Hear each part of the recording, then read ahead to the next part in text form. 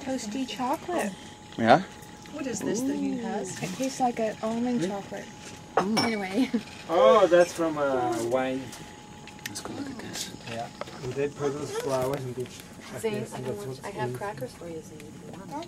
You, did you try a Can we get some crackers out of Mama's backpack? Here you go, bud, taste that.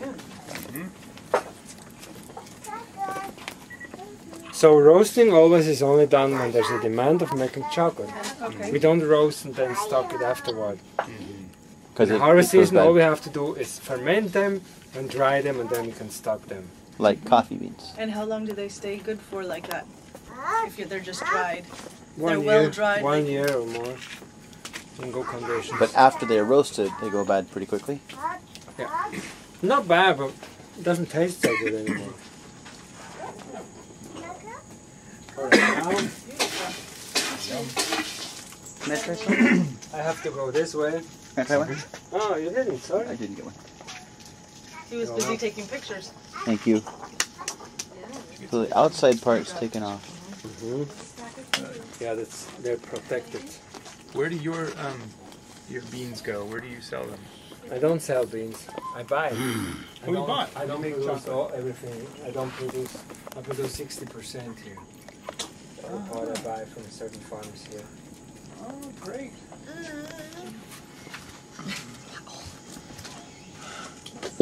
How did they ever figure out how to make chocolate? That's what I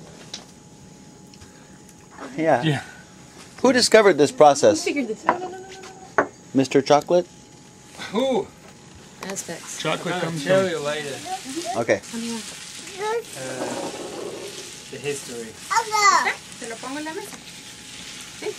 pongo en la mesa? But uh, Mm. Es saurel con jengibre, eh, flor de Jamaica, Ah, Mori. Mucho azúcar. tiene azúcar. Okay. Try it, honey. I'll try. Oh, Oh my god. crushing the seeds. It's delicious. Nancy, would you like to sit here so you can watch better? Gracias. This is the old way. What do you got in your pocket?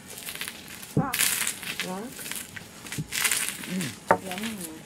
Oh, ginger. or Ginger. Jicama?